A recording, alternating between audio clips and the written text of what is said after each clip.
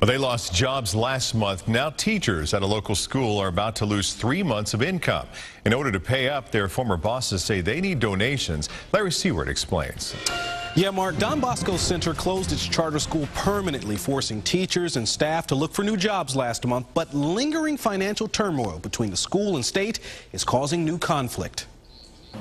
Well, maybe it's Retired Sergeant First Class Sigbert Bowyer served 20 years in the Army. Never once did he fire shots in war. His ammunition's reserved for special domestic battles. and education for me seemed as natural as anything else, and I thought I could take those skills and bring them into into a school environment. He carried them into Kansas City's public schools alternative program until being laid off two years ago. After a year fighting unemployment, opportunity knocked at Don Bosco Charter School.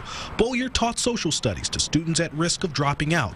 They taught Bowyer an old military lesson. Don't ever be surprised. He wasn't in April when managers who also run social service programs permanently closed the school. Later came shock. I had a phone call today saying that because they've they don't have the money from DESE, Department of Elementary and Secondary Education, they can't pay us tomorrow, and they're not sure when they can pay us. In a statement, a school spokesman says the school learned last month DESE is withholding nearly $200,000 in federal funding. Without those funds, the charter high school cannot pay teacher and staff salaries for June, July, and August. Now, management is publicly begging for donations. I think they could have given us more more information or provided some outreach to us. I mean, as the Don Bosco Center, maybe they could help their their uh, their former employees. Out of work, out two months' income, Bowyer is frustrated, angry, and fighting an enemy he never saw coming.